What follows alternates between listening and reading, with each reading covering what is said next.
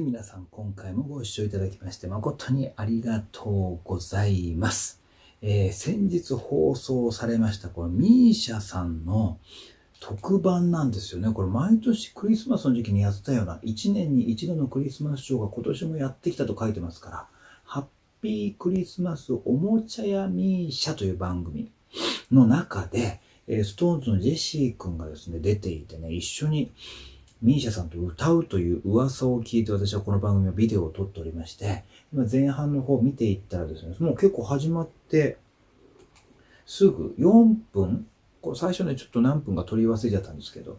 4分、私が撮ってるところからだと4分15秒ぐらいのところで、どうやらね、ミーシャさんとジェシー君が、あの山下達郎さんの名曲クリスマスイブを歌われるみたいなので、今から早速見ていきたいと思います。それでは、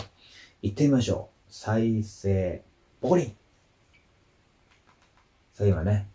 えービビアン・スーさんがちょっとでね、お話ししてて、お芝居がジェシー君上手ですねって言った後、ジェシーと共にクリスマスへと誘う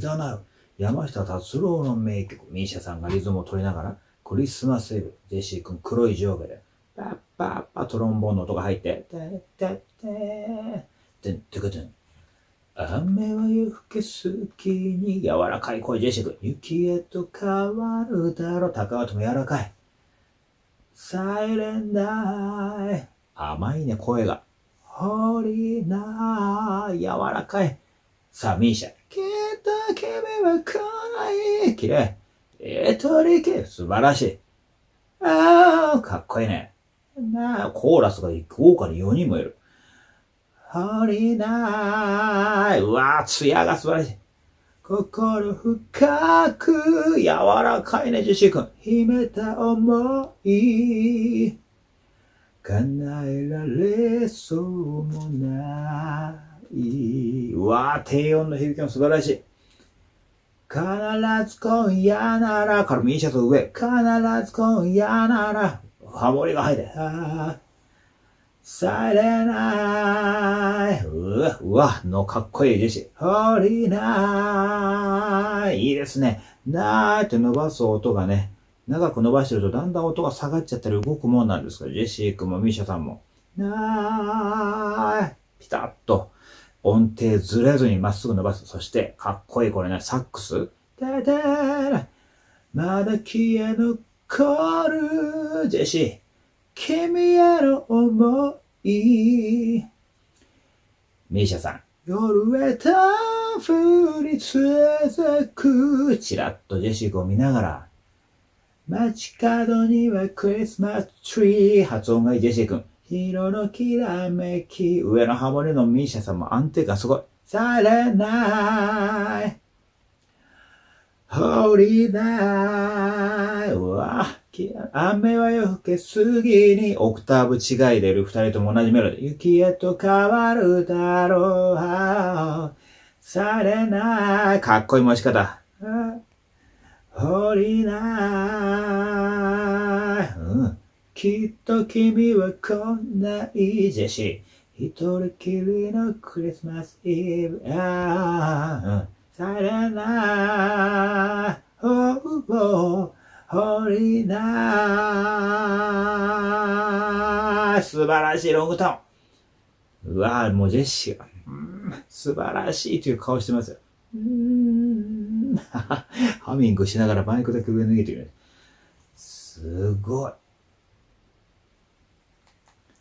いや、これ。いや、すごいね、ジェシー君も。もうこれは、お見事ですよ。だって、まあ、たくさんプロの歌手の方ね、歌上手な方いらっしゃいますけど、まあ、多分日本で、まあ、その順位をつけるのもね、まあ、どうかとは思いますけど、まあ、女性アーティストの中で、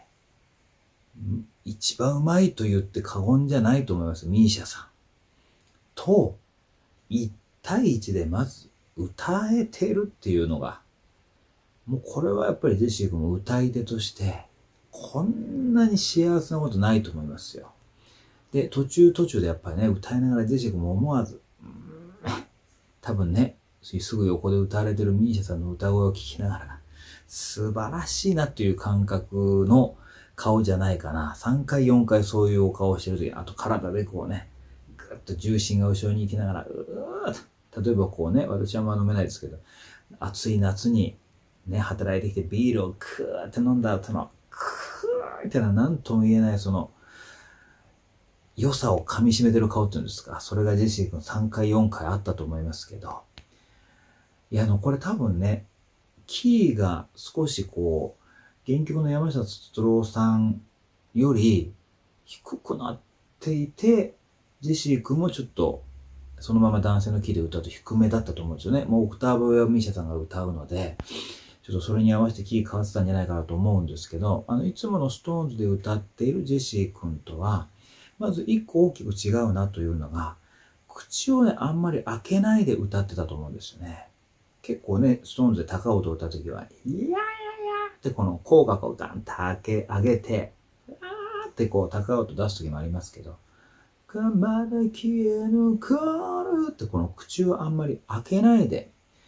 えー、柔らかくというかね、丁寧に出してる印象。そして高尾と言っても強く声を張ることももともとジェシーもできるけども、空気の量を多めにして、なるべくこう全体的に優しい声の出方っていうのを多分意識して歌われてたんじゃないかなと思うんですけど、その方が歌う方っていうのは結構音程取るの難しいと思います。やっぱり高音はある程度空気の力を使ってバーンと強めに出しに行った方が安定感というのは出るはずなんですけど、それをあえてそういうふうに強く出さずに空気の量でこうその声をまとってというかね、周りを空気でこう、オブラート包んだ感じにして、ダラダララフーとこう柔らかく出しに行ってるので、いや、なかなかだからまあど、どこまでその、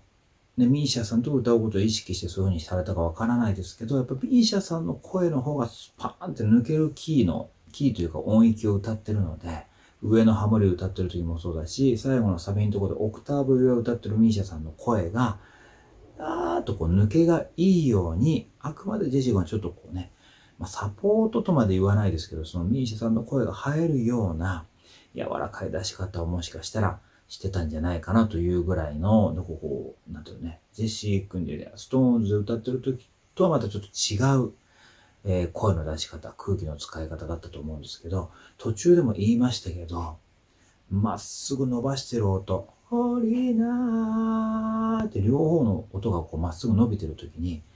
どっちかの音がブレてしまえばやっぱりそのハーモニーが崩れてしまうので、で、ミーシャさんは絶対ずれないですからね。そこに下の音で柔らかく出してるジェシー君の声がきっちり同じ音、ロングトーンって言いますけど、で、最後の最後まで綺麗に切れるギリギリまでね、丁寧に出してるところもジェシーのやっぱりテクニックだし、そのね、そういうことがミーシャさんと一緒にできるいやー、これね、まあまあ一昔前の感覚ですけど、やっぱりアイドルですからね。アイドルは、まあ歌がもちろん歌えた方がいいんですけど、どっちかというと見た感じがかっこよかったり、ダンスが踊れたりするから、まあそれで多少歌が、例えばね、そんなにめちゃくちゃ上手くなくても成り立つみたいな時代ももしかしたらあったかもしれませんけど、もう、ミーシャさんと一緒に歌っていて、遜色なく一曲をこう歌い切れちゃう。そんな歌い、歌のテクニックを持ったアイドルももう令和になったら出てきてるわけですよ。だから私もそうでしたけど、まあアイドルだからそんなに歌はなんていう時代はもう終わってるかもしれないですね。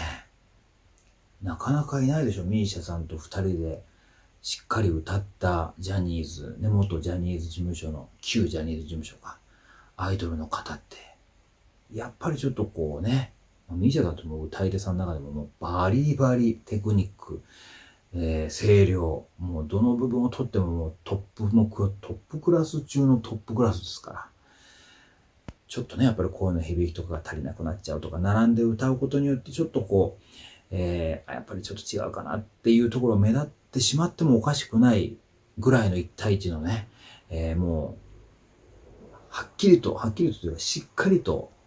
えー、デュエットしてるジェシー君がこんだけ安定感持って歌えてると、本当素晴らしかったと思います。